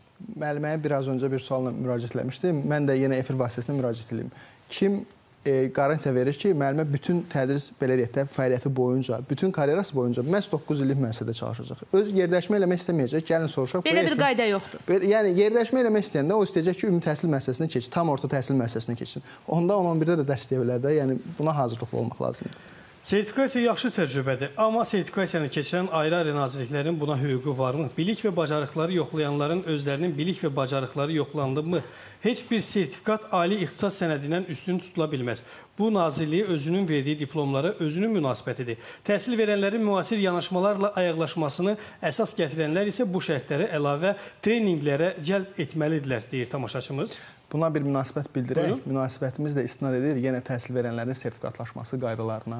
Təhsil verənlərin sertifikatlaşması qaydasına müvafiq olaraq sertifikatlaşma prosesinin təşkili məhz Azərbaycan Respublikası Elm və Təhsil Nazirliyinə, Azərbaycan Respublikasının Nazirlər Kabineti tərəfindən həvalə olunmuş bir tədbirdir. Yəni burada digər qurumlar yox, yəni Nazirlər Kabineti tərəfindən prosesin keçirilməsinə məsul olan tərəf məhz Elm və Təhsil Nazirliyidir. Təhsil sənədi ilə bağlı biz prosesin təşkili ilə ali və ya orta ixtisas təhsili sənədini mühakimə etmirik, müzakirə də etmirik. Biz bu proseslə müəllimin peşə yararlılığını və onların peşəkar ehtiyaclarının müəyyənləşdirilməsini təşkil edirik. Digər tamaşaçımız yazır ki, mənim narazılığım ibtidai sinif e, müəllimləri üçün 9-cu sinif sualları salırlar. Bu nə qədər doğrudur? Baxın, gəlin müəlliməyə istinad eləyək, çünki o prosesdən Təkrar də. eləyirəm. İndi inşallah sabah sınaq olacaq. İlk öncə buradan bütün müəllimləri o sınaqda iştirak etməyə səsləyirəm. Çünki mən özüm də e, sertifikasiya öncəsi sınaqda iştirak etmişdim. Elə demək olar ki, eyni nəticəni də topladım. Bu arada 60 bal toplamışam mən. Maksimal nəticə. Maksimum 60 bal, bəli, müsahibədən də maksimum 40 bal toplamışam. E, mən həmin müəllimlərə sözümdür ki, tam arxayın olsunlar. Siz hər hansı bir kursa getmişdiniz Qətiyyən. Üçün? Bir qeyddə müəllimə bölüşsün ki, müəllimə məhz bizim Bayaq, təlim mərkəzlərində bəli. təlimçilərdən də Bir biridir. məqamı mən əlimi qaldırdım, görmədiniz deyəsən. Müəllimin bayaq bir söz Mikrofonunuz dedi. açıqdır, buyurun. Dedi ki, bəs e, uğursuz nəticə göstərənlərə O təhsil sinifdə institutunun- olur. Hə, təhsil institutunun dəstəyi var, uğursuz nəticə göstərənlərə. Təşəkkür edirəm. Mən həmin təlimçilərdən biriyəm. 60 nəfərə yaxın e, müəllimlərə dəstək məqsədi ilə təlim keçmişik. İnanın ki, müəllimlərin hər birini bu dəqiqə dindirsəz, o qədər sevinirdilər, o qədər təşəkkürlərini bildirirdilər ki, nə yaxşı ki, bu təlimi bizim üçün təşkil etdiniz. Həm onlara bir motivasiya oldu. Biz psixoloji cəhətdən onları hazırladıq bu növbəti sertifikasiyaya. İnşallah ki, uğurla keçərlər böyük əksəriyyəti. Bir də onlar e, müəyyən kurslara gedirdilər və o kurslar nə yazıq ki, onları elə bir o necə deyirlər, çətin bir proqramı onlara öyrətməyə çalışırdılar ki, və onlar gördülər ki, yox, onlara lazım olan o deyil və özlərinə də deyirdim. Axı siz özünüz keçən il olmusunuz. Siz bilirdiniz axı suallar bu tipdə deyil ki. Aqil müəllim, siz kurslarda müəllimlərə o qədər çətin nə öyrədirsiniz ki? Valla biz kurslarda müəllimlərə çətin bir şey öyrətmirik. Məsələn, mübtəda və xəbərdir. Əlimizdə test bazası yoxdur. Mən də fikirləşirəm ki, bu müəllimi elə öyrədək ki, bu müəllim sabah gedib imtahana problem yaşamasın da. Sadə mübtədadan danışıram, mürəkkəb mübtədadan danışıram. Başlayıram mübtədanı qarışdıranda nə etmək lazımdır ki, bu mübtəda deyil, tərkibin içindədir və s. və ilə axır. Çünki əlimdə model yoxdur. Haqqı müəllimlər bu İndi- dediklərinizi bilmirlərmi? Yəni Yox. bu dedikləriniz əslində belə baxanda çox primitiv şeylər deyil. Yox, yox, o əvvəli primitivdir. Ondan sonrası çətindir. Onun arxası çətindir. Bəli, onu tərkibdən ayırmaq və s. və ilə necə o o dərsdə deyilik. Təbiidir ki, müəllim şagirddən artıq, yəni artıq bilməlidir. Təbii, Bu, təbii. bəli. Yox, mən e, ona gətirmirəm. Müəllimə gedib imtahanı görüb 60 sualın 60-ını da düz yazıb maşallah. Təbrik edirəm. Və 60 sualın 60-ını da düz yazmaqla yanaşı orada fəhm edib və bilir ki, proqram başdan ayağa nədir. Aqil müəllim getməyib bax. Aqil müəllim o sualı görmür. Nə etməlidir? Aqil müəllim Ehtimallar üzərindən. Hə, gəlib deyir ki, məsələn mən Azərbaycanla öyrənmək istəyirəm. Hə, Aqil müəllim bilir ona hansı mövzular düşəcək. Amma məcburdur ki, ona bütün ehtimalları öyrətsin ki, yəni çətini öyrənən problem yaşamaz. Mən belə düşünürəm. Qoy öyrətsin 20 kilo yük qaldırmaz, sabah 10 kilo düşəcək, qaldıracaq da. Sözünə qüvvət, cəmiyyətdə də elə bir tendensiya var ki, hansı müəllim daha çox yük, daha çox dərs, daha harda tapılmayan kitablardan olan mənbələrdən istifadə edirsə, elə deməli o ən yaxşı müəllimdir. Biz yəni elə cəmiyyətin də dəyərləndirməsi budur. Amma e, bildiyim qədərincə hətta ədəbiyyat müəllimləri bu 5 kitab oxusun deyə ədəbiyyat nümunələri verilib. Onlar elektron versiyası sizin sayta da yüklənib. Mən hətta bu gün maraq üçün o səhifələrə də bir-bir baxdım. Üst-üstə heç 200 səhifə deyil oxunmalı olan materialların sayı. Misalə müəllimə. Üzr istəyirəm Aynur xanım. Problem materialda deyil ki.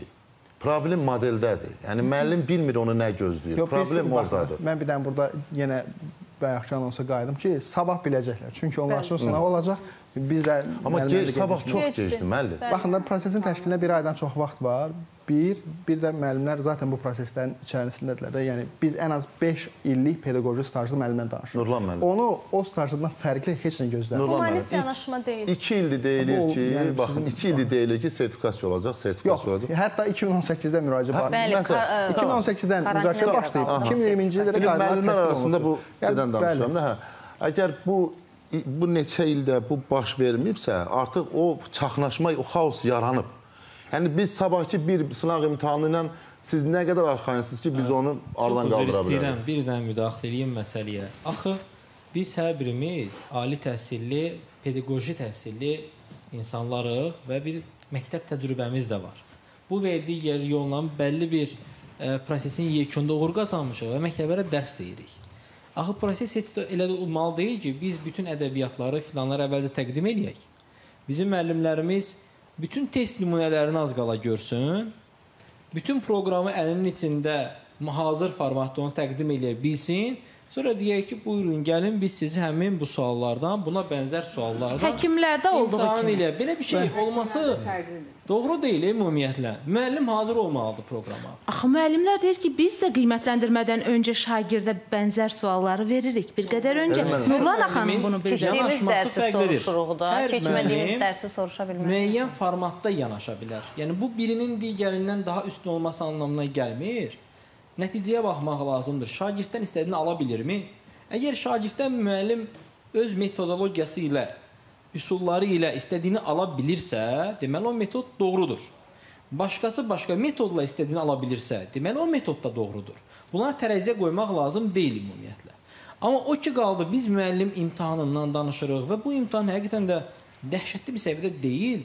Bu proses başlayanda prosesin həqiqətən də vacibliyinə tərəfdar olanlardan biri kimi, amma ilk gedişatda çatışmazlığı dilə gətirənlərdən biri kimi deyirəm ki, həqiqətən də zaman proses daha şəffaflaşıb və ortada böyük suallar altında gizlənən mətləblər gün Əvvəl şəffaf işığına deyildi ki? Yox, şəffafdır. Sadəcə hamı üçün aydın deyildi. İndi isə hər kəs Aydınlaşır deyək o zaman.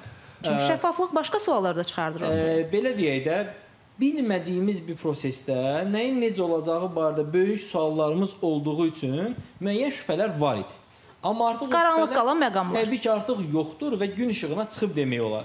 Kimlər həqiqətən bir balaca biliyə, savada sahibdirsə, rahatlıqla bu imtahanı keçir. Kimlər həyəcanına və s. yenik düşürsə, onlar onsuz bir il müddətinə hazırlaşandan sonra şərt deyil ki, başqa adamların yanına getsə, buna ehtiyac da yoxdur. Mən düşünürəm ki, heç bir müəllim əslində başqa müəllimlərin yanına sertifikasiya üçün hazırlaşmağa getməməlidir. MEQ üçün gedə bilərsən, amma sertifikasiyaya hazırlaşmaq niyyətilə başqa müəllimdən dərs almaq doğru deyil. Əgər kimlərsə bu müvəffəqiyyət əmsalında geri qalır, kəsilirsə, bir il zaman verilir, zəhmət çəksin, yanlışdan üzərində işləsin.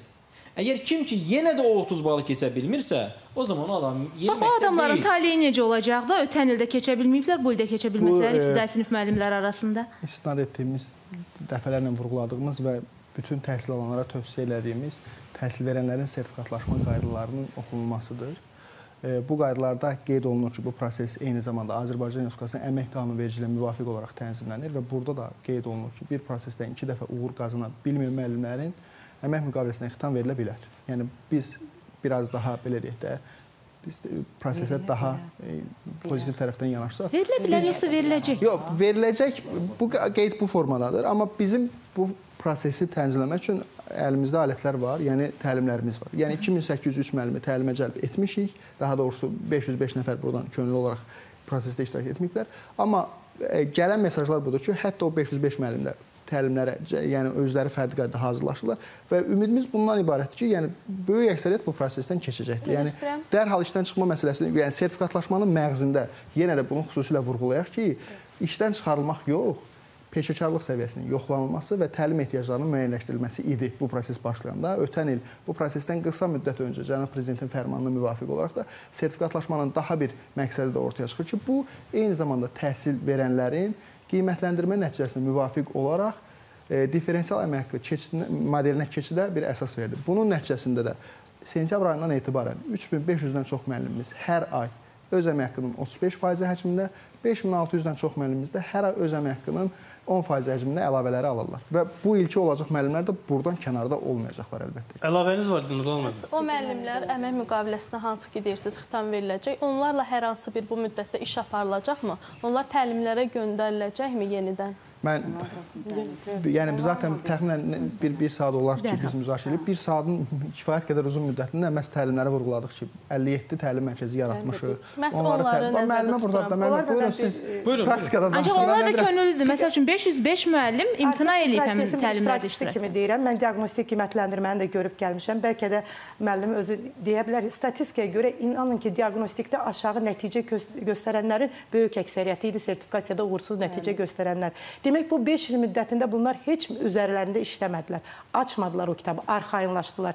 E, Bu əmək müqaviləsinə xitama gətirib çıxarıram. Demək hardasa bu biraz da məsuliyyəti daha çox artırır ki, mən yenə örtdüm ora qoydum. Nəticəm aşağı oldu, fərqi olmadı. Mən yenə həminki kimi qalacağam. Deyirsiniz təlimlərə. Doğrudan onlar neçə təlimlərə qoşulurlar. Təhsil institutu davamlı şəkildə təlimlər keçirir. Amma yenə o diaqn- diaqnostikdə 10-a qədər, 20-yə qədər bal toplayanlar sertifikasiyada həmin uğursuz nəticəni göstərdilər. Niyə? Çünki arxayındılar ki, onlar e, heç bir şey itirmirlər və özləri üzərində çalışmırlar. Müəllim üzərində çalışmalıdır. Müəllim öyrəndi, dərs dediyi, tədris dediyi biliyi dərindən mənimsəməlidir. Mənim üçün sertifikasiya özünə inkişaf və özünü qiymətləndirmədir. Zəif və güclü tərəflərini təyin etməkdir. Çalışmam üzərində müəllimlər, Firava müəllim, sizdən fikir alaq. Bir qədər əvvəl də maraqlı fikirləriniz var idi. Bunu deməklə siz Azərbaycan müəllimlərini sanki ə, belə Yox, mən- ə, sual altında qoyursunuz siz ki, dediniz ki, vallah aşağı bizim nəticə göstərən müəllimlərdən dedik ki, diaqnostik 1-6 bal bu çox toplayan az müəllimlər. hissə ola bilər. Biz də o az hissədən danışırıq. Gəlin də Buyurun az Nurlan müəllim, hissədən fikrinizi tamamlayın. Bilirsiniz, biz sinfə girəndə bizim e, metodikamızda biz yaxşı motivasiya vermək, düzdür? Bu gün müəllim yaxşı motivasiya almır. e. Bu gün müəllimin həyat şərtlərində nəzərə alınır. Niyə? Yox, sertifikatlaşma məsələ ya- motivasiyadan. Yəni birbaşa o demək ki, bir il müddətində kəsiləcəksən. Bu bilirsiniz müəllimə nə qədər Yox, mən travma diaqnostikdə bu müddəti deyirəm. 5 il müddət Yanaşırsınız keçirdi. ki, Mən Mən hər 5 il müddət keçirdim. xahiş edirəm. 83%-in keçməsi pis motivasiyadırmı? 83%-in keçməsi sistemi şübhə altına almaqdırmı? Yəni bir dənə də xüsusi məqam var. Biz sanki burada iki fərqli tərəfi müəllimlər və Elm və Təhsil Nazirliyi və Təhsil İnstitutu. Xeyr, bu müəllimləri işə götürən.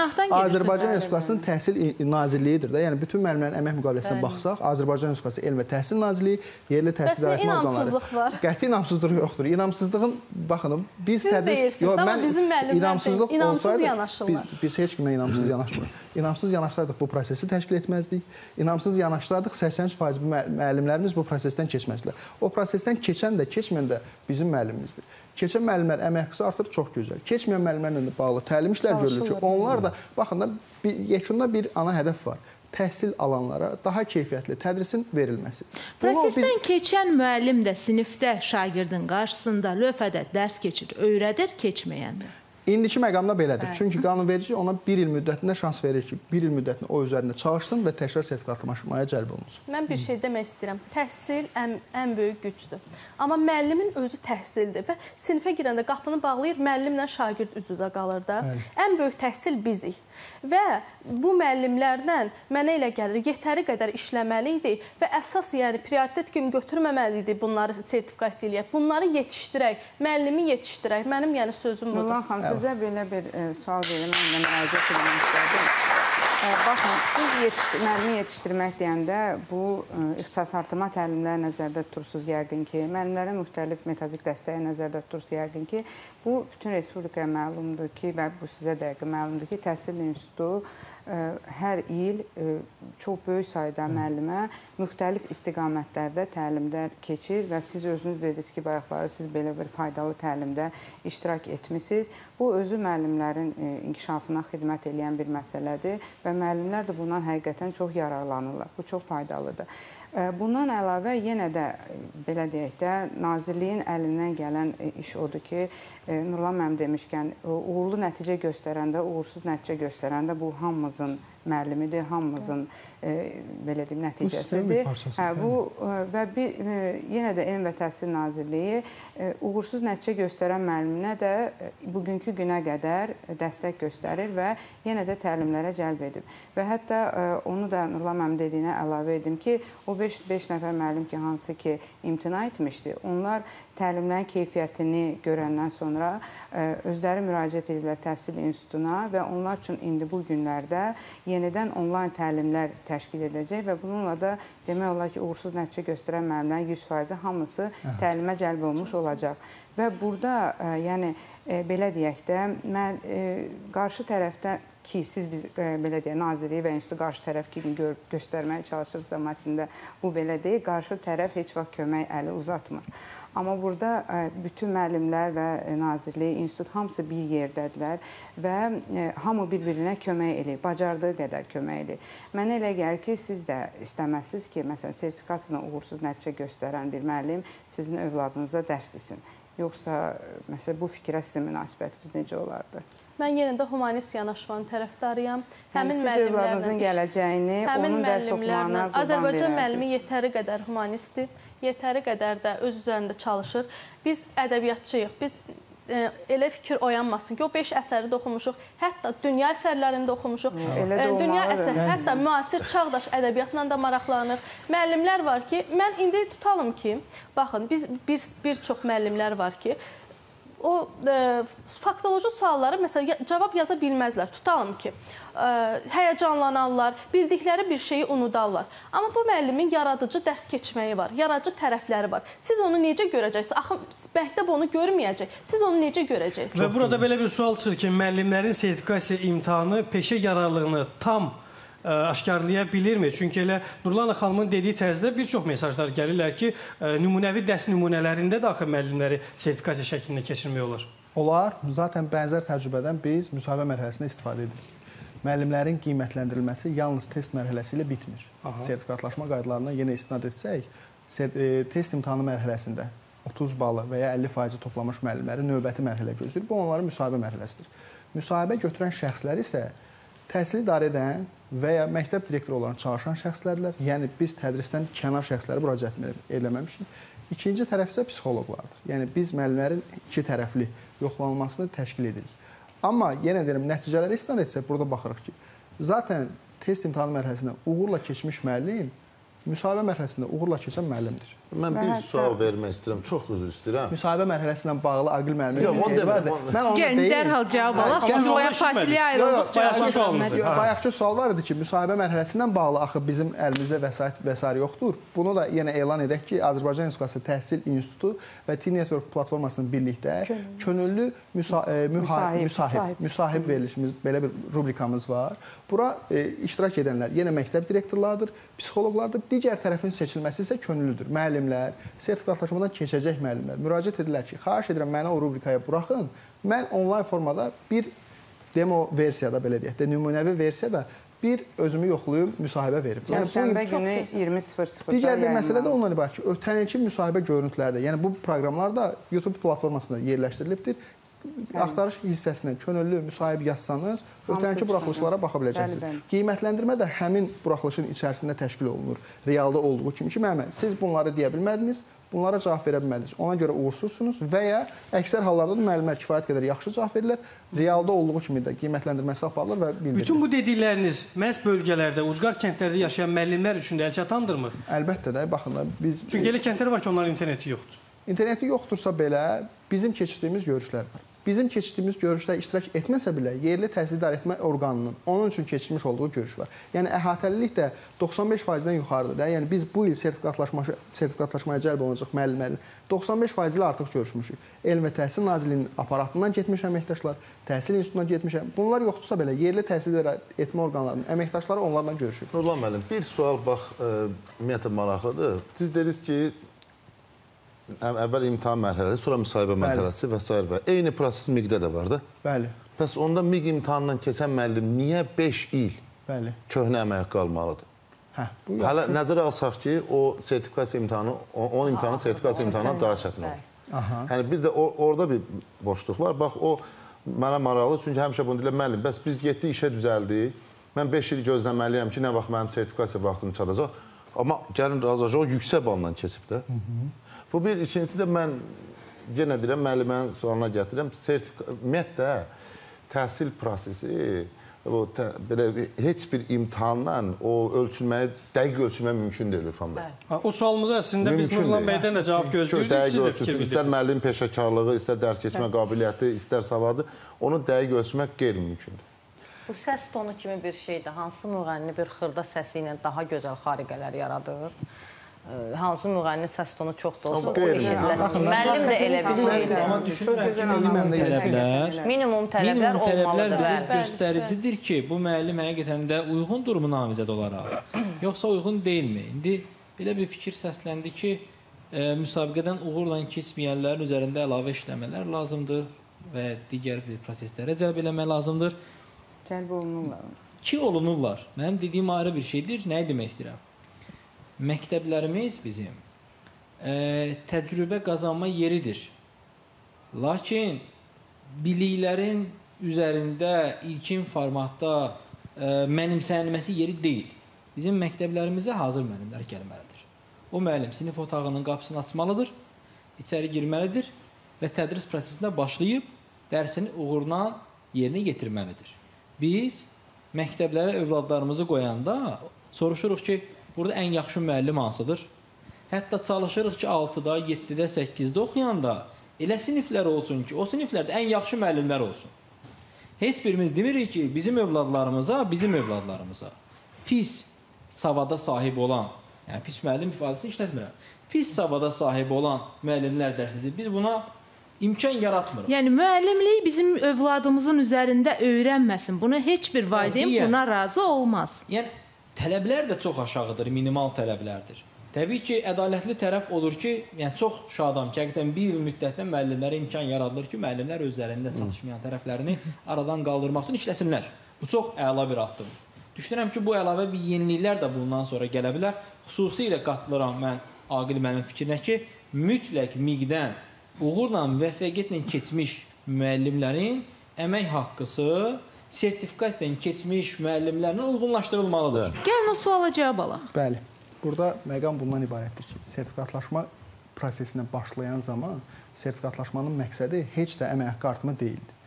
E, yeni işə qəbul olunmuş bir, bir dənə icazə versiniz. Mən dinlədim, sizdən də dinləməyinizi Bir xahiş qədər edirəm. öncə bu barədə məlumat verdi əslində ki, sonradan verilən qərarla e, diferensial əmək haqqı sistemi ilə bağlı keçid oldu. Bax, burada bir oldu. neçə məqam var. Birinci məqam ondan ibarət ki, sertifikatlaşmanın keçirilməsindən məqsəd müəllimlərin peşəkarlıq səviyyəsinin yoxlanılması və təlim ehtiyaclarının ödənilməsidir. Qeyd etdiyiniz kimi bir müəllim işə qəbul ol- yeni işə qəbul olunubsa, öz və bilik və bacarığını sübut edib bu yoldan keçibsə, bu səbəbdən onun 5 il ərzində qiymətləndirilməsi aparılmır. Çünki zaten aparıldı və o sistemə daxil oldu.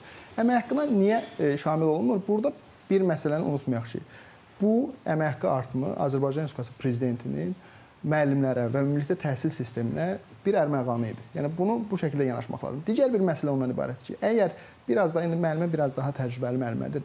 Biraz daha əvvəlki nəsillərə baxsaq, müəllimlik daha çox belə deyək də əziyyətlə, fədakarlıqla assosiasiya olunan bir peşə idisə, indiki müəllimlər bu prosesə də yeni işə qəbul olunan şəxslər çox peşəkar yanaşırlar.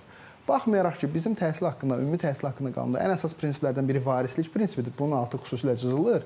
Bizim müəllimlər baxırlar prosesə, baxmayaraq ki, onlar diplomları pedaqoji diplomlardır. Baxmayaraq ki, onlar müəllimlərin işə qəbulu üzrə çətin bir prosesdən keçiblər.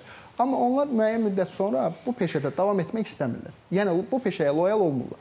Bu peşəyə loyal olan şəxslərin əmək haqqısının artırılması baxımından qərar bu formada verilir.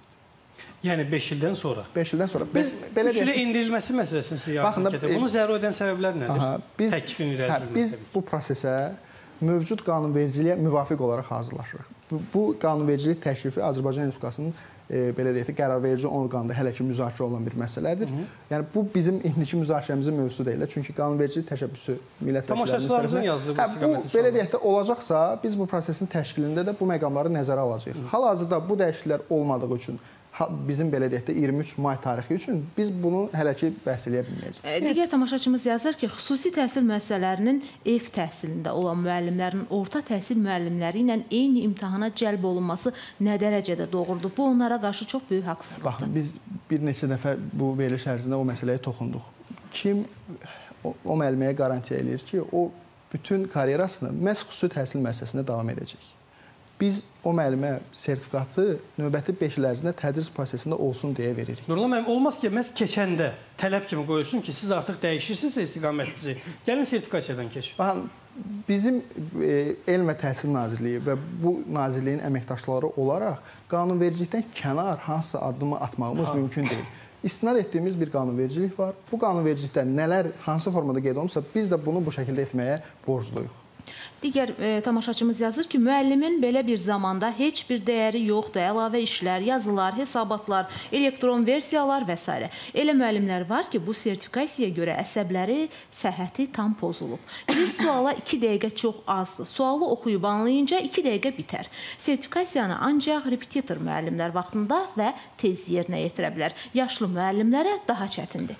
Gəlin ötənki nəticələrə baxaq. Ötənki prosesdən öncə də bənzər müzakirələri biz burada və ya müxtəlif platformalarda edirdik. Nəticə nə oldu?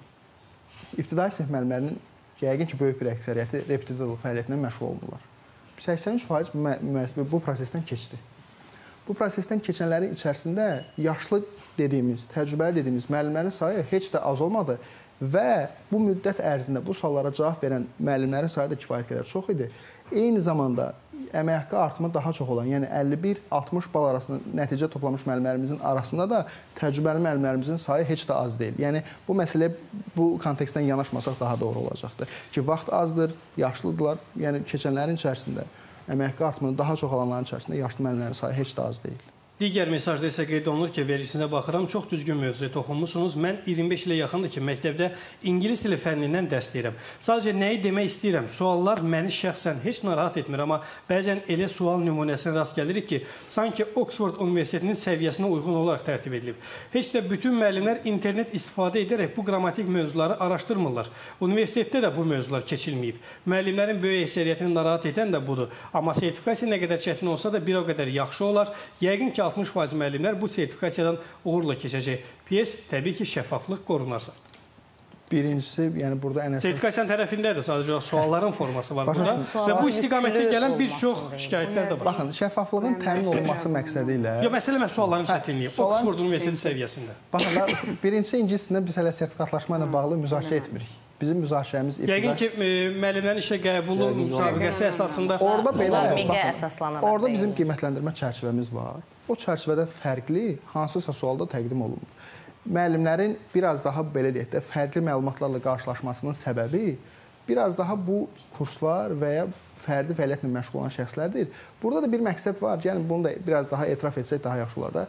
Kursun məqsədi daha çox ödəniş almaq olduğuna görə əlbəttə ki, qarşı tərəfə daha az məlumatlı olduğunu göstərməlidir. Yəni bunu da Oxford nümunəsində olan sualla versə, hər halda ki, müəllim daha çox stres çəkəcək ki, mən bu sualı bilmirəm. Bu miqdə düşəcək yoxsa yox? Bu sertifikatlaşmada düşəcək yoxsa yox? Bu ümumiyyətlə o anda müzakirənin mövzusu yəni, belə olmaz. siz deyirsiniz ki, bunları məhz müəllimlərin repetitorları, kurslar ə, bilərəkdən belə bir ə, imitasiya edirlər. Baxın, bu ortada bir Aqil müəllim də qa- qazanc var, yəni qazanc məqsədi varsa, əlbəttə ki, bu bunlar heç biri istisna olunmur. Amma gəlin bizim tərəfdən baxaq da, bizim istəyimiz nədir? Daha çox müəllimin bu prosesdən yararlanması və əmək haqqının artmasıdır. Müəllimlərin sosial rifahının daha da artırılmasıdır. Biz fərqli kontekstdən yanaşmırıq axı bu məsələyə. Yox, indi Tamaşaçımız yazır ki, köçkün müəllimlərin rayonlara qayıdışı başlayır. Bu il onları e, sertifikasiya eləmədilər. Gələn ildə uzada bilərlərmi bu müddəti? E, mən düşünürəm ki, yazan tamaşaçımız biraz məlumatsızdır bu prosesdən. Çünki bizim belə deyək də e, indiki belə deyək də köçkün məktəblərimiz var, fəaliyyət göstərir. Biz müəllimlərimizi faktiki yaşayış yerinə müvafiq olaraq imtahan mərkəzlərinə dəvət etmişik. Deyək ki, bir Şuşa məktəbi əgər Bakıda yerləşirsə, biz həmin müəllimi Bakıdakı imtahan mərkəzinə dəvət etmişik. Füzulidə qayıdış qəsəbələrinin çoxdur. Onlar ora daha yaxın olan Füzu e, Ağcabədi və Bərdədəki imtahan mərkəzlərinə dəvət olunublar. Yəni bu məqamların hər biri nəzərə alınıbdır. o gəl suallardan deyirsiniz. E, mən şəxsən özüm elə qeyri-adi belə olsa Oxford sualları hazırlamıram. Amma var, gündəmdə var və mən bunu tamamilə normal qəbul edirəm. Çünki yenə deyirəm, ortada bir baza yoxdur. Bəs o və, o vəziyyət niyə abituriyent sferasında baş vermir? Çünki ortada bir model var, ortada deyəcəksiniz bu Dərsliklər var. Bəli, ortada Dərsliklər, konkret faktlar, amma dərsliklər. nə MİQ sahəsinə, nə sertifikat, baxın, neçənci ildən MİQ gedir də? 2011 2010-ların 11 əvvəlində, bəli. 11-dən. Bu vaxta qədər hardasa 11 il eləyir də. Bu 11 il ərzində bircə imtahanın modeli paylaşılıb. Hansı imtahanı? Biz 2010 2021-ci il MİQ imtahanında istifadə olunan suallar paylaşılıb. 2022-ci ildə də keçirilmiş imtahanlardan dərhal sonra orada istifadə olunmuş suallarla və onların izahı ilə də bağlı canlı yayımlar təşkil olundu. Mən sizin bu qeydinizdən mən Yox, öz gəlirəm. üçün razılaşmıram. Xeyr, imkan verin. 2011-dən bu yana çıxan belə deyək də o e, imtahanda istifadə olunan suallar, heç olmasa onlar və yaxud ona oxşar suallar eləmək lazımdır. Cəmiyyət maraqlansın. Ən azından DİM-in abituriyent jurnalı var. Bir də bunu da sertifikasiya ilə bağlı eləmək lazımdır, MİQ-lə eləmək lazımdır. Mən müəllim, birisi nəyə gətirəm, çıxardıram. Bax, ə, məsələ necə yaranır? Bu zəncirvari reaksiyadır. Ortada bir şey yoxdur. Və o müəllim sual axtarır, baxır ki, kimdə sual var. Baxır ki, məsələn, Nurlan müəllimənin sualı asandır. Yox, keçdi biraz daha çətin sual. Elvin müəllimə və ya İrfan bəyə gəldi, mənə daha çətin, daha çətin və o proses başlayır daha da mürəkkəbləşmə, mürəkkəbləşmə, ortaya həmin Oxford sualı çıxır.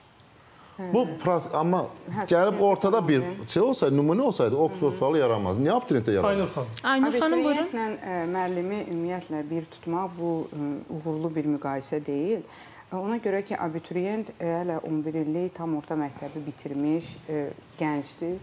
Ə, Hansı ki, o hələ indi-indi belə deyim də qəbul imtahanına daxil olur və indi həyata hələ qədəm qoyur.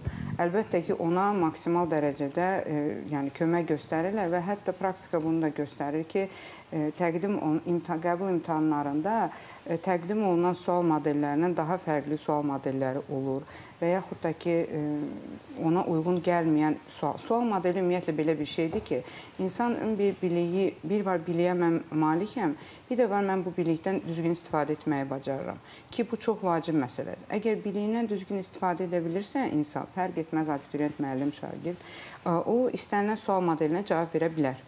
Gəldik müəllimlərə, bayaq e, qeyd etdiyim kimi, müəllimə e, sualı vermək, o nümunəni göstərmək, bu e, bir növ müəllimi çərçivəyə yenə də salacaq. Müəllim deyəcək ki, "A, mən bu modelə hazırlaşıram. Deməli mən biliyimi bu model çərçivəsində istifadə edə bilirəm, amma məndən fərqli bir şey soruşanda mən onu istifadə edə bilmərəm." Bu müəllimlərin özünə qarşı haqsızlıqdır. Bu dünyada keçirilən bir təcrübədir. Məsələn, IELTS imtahanları var. Onların hamısının formatı var ingiliscə. Biz onlarla işləyirik. 4 dəfə Format müəllimlərin işə qəbul imtahanında iştirak dinləyək, eləmişəm. Yəni məktəblərdə işə düzəlmək üçün deyil, buna ehtiyac duymamışam deyə getməmişəm. Mən hər il Ümumiyyətlə, amma özümü yoxlamaq hər zaman mənim üçün maraqlı olur. Aqil uzun belə müddət e, tarix fənni üzrə də repetitor müəllim olaraq çalışdığım üçün hər zaman özümü yoxlamağa ehtiyac hiss etmişəm. 54-dən 57-yə qədər hər bal toplamışam 60 ballıq sistemdə. İxtisasımda hər zaman onsuz da bir neçə dəqiqə ərzində bir 15-20 dəqiqə 40 üzəri 40 tam olaraq yazmışam hamısında. Qəddim qənaət nədir öz fənnim üçün deyirəm. Müəllimlərin işə qəbul imtahanı sualları abituriyentlərin qəbul imtahanının suallarından daha asan suallardır ki, tarixdə. tarix fənni üzrə deyirəm, daha çətin deyil. Yəni bu bir mənalı belədir. Amma müəyyən fənlər çıxsa, məsələn, 2 il ardıcıl olub ki, ingilis dili fənləri ilə bağlı böyük ajitaj var. Bəli. Amma ötən il həqiqətən də suallar onun üzərində işlənildi və kifayət qədər rahat oldu imtahan.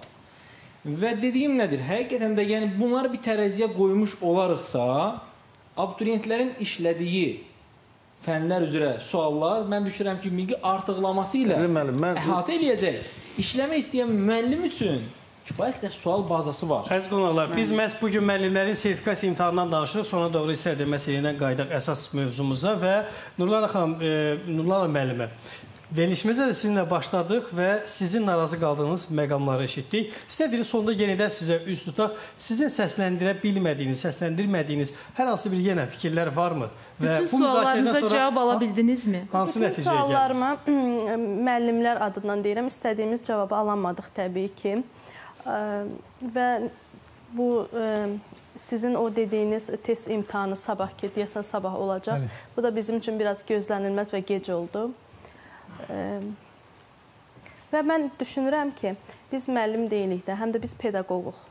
Və pedaqoqu imtahan eləmək nə dərəcədə düzgündür, bu da sual altındadır biz müəllimlər üçün.